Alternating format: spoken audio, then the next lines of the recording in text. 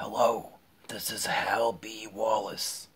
He was a film producer that lived between 1898 and 1986. His work includes Casablanca, True Grit, and The Adventures of Robin Hood.